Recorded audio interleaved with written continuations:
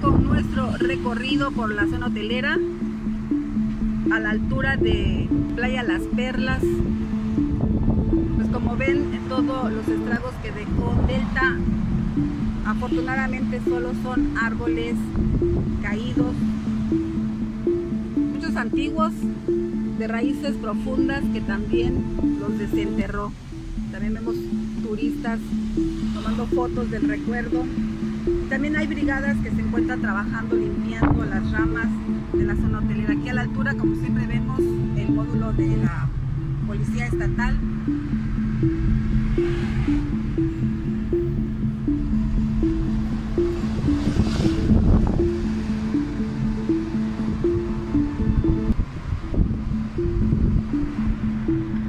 Sergio, pues afortunadamente los estragos de Delta fueron árboles caídos.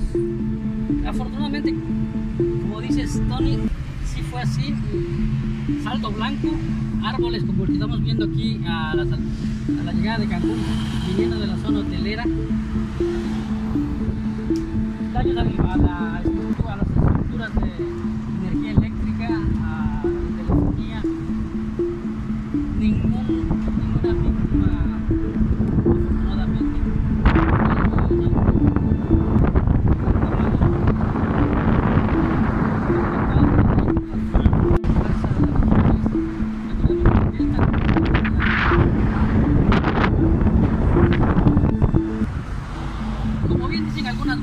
Tony, nos preparamos más horas de lo que tardó Delta en Cancún. Prácticamente cinco horas de su paso por, por, Can- por Cancún o por el estado, ¿no? Por todos los, el- los municipios de la zona norte. Afortunadamente, la verdad, Sergio, Sí, porque está- estábamos preparados para, lo, para más, ¿eh? estábamos preparados para lo peor.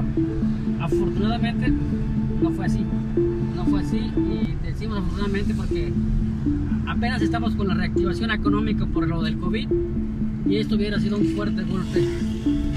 Esto que pasó con Cancún, seguramente en una semana ya estaremos de nuevo arriba. Podemos ver, mira, los árboles. Hay otro árbol aquí que casi tapa la, la carretera.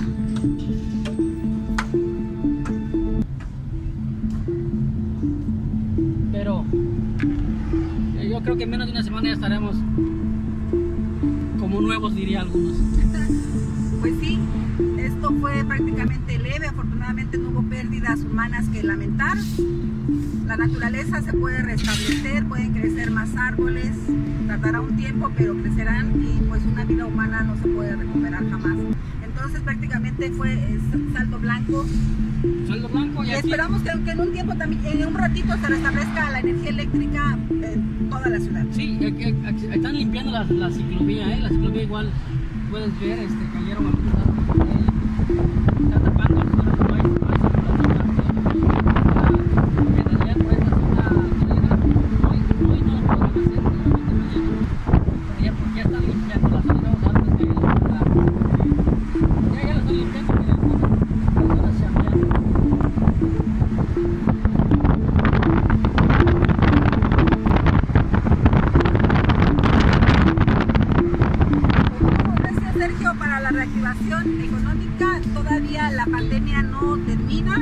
Este 2020 quedará sellado por la pandemia y por gamma, delta, XY y lo que falta todavía. Sí, Tony, increíble ese 2020 era para estar guardado con letras de oro en algún libro, Tony. 2020 ya no me sorprendas.